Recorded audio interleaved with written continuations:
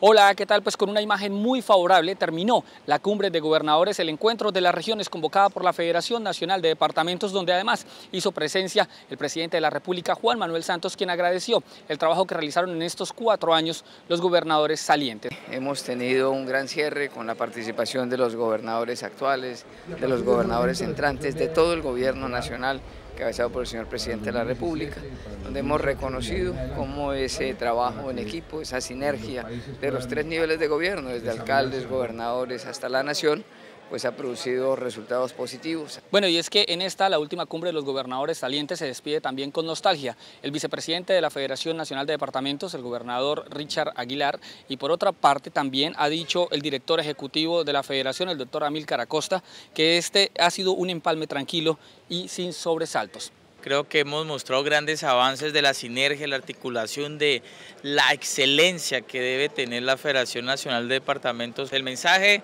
continúen con este buen trabajo. Vienen unas épocas difíciles, como lo ha anunciado el señor presidente, pero si existe una sinergia, si existe una muy buena planeación, unas muy buenas metas, creo que el trabajo se va a lograr. Quienes eh, van de salida, pues eh, saben eh, en qué condiciones y bajo qué circunstancias están haciendo dejación de sus cargos y todo esto va a contribuir a que se dé un empalme tranquilo, sin sobresaltos y que va a facilitar eh, el buen gobierno y la buena gestión de los mandatarios entrantes. Bueno, asimismo el presidente de la República le dio la bienvenida a los 32 nuevos gobernadores del país y les dijo que se pusieran la camiseta desde ya para conseguir la tan anhelada paz. Desde Villavicencio, en el Meta, les informó Jair Díaz.